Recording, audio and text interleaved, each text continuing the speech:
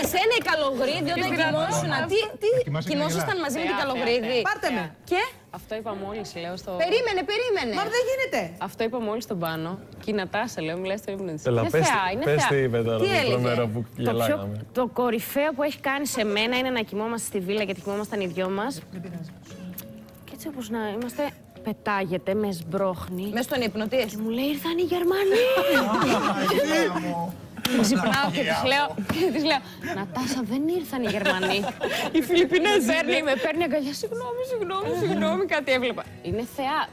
Εντάξει, μετά από λίγο καιρό, απλά το αποδέχεσαι και συνεχίζεις τον ύπνο σου. Αλλά πρώτη εβδομάδα παραλία, Ναι, ο άλλος ναι, είχε ναι, σηκωθεί ναι. και έλεγε Τι γίνεται, τι; κάνω, Νατάσα.